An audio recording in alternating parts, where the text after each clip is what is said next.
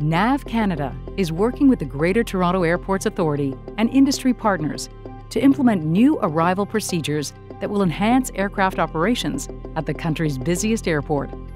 Required Navigation Performance, or RNPAR, leverages satellite based positioning and modern flight management systems to allow an aircraft to fly a precise three dimensional approach path.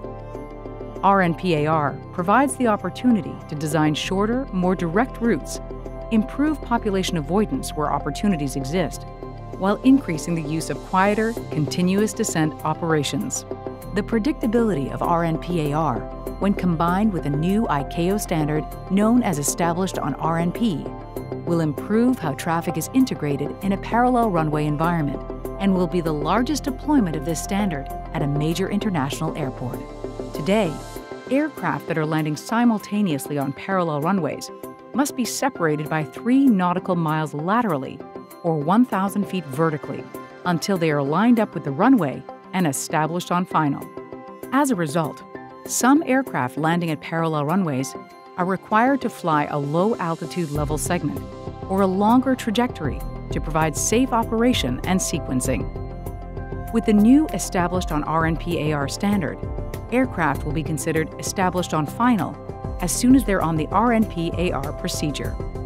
These new procedures are being developed for the North Runway and will deliver benefits for both equipped and non-equipped aircraft. When aircraft from the south are approaching the runway, there will be new opportunities to keep these aircraft up to 1,000 feet higher when aircraft to the north are established on an RNP-AR procedure. Approximately 40% of aircraft are equipped to fly this procedure, and more will be able to as quieter, modern aircraft are added to the domestic and global fleet. These airspace changes will result in reduced noise, shorter routes and reduced fuel consumption, and important reductions in greenhouse gas emissions. The implementation of RNPAR at Toronto Pearson is estimated to result in greenhouse gas reductions of approximately 178 million kilograms over the next 10 years.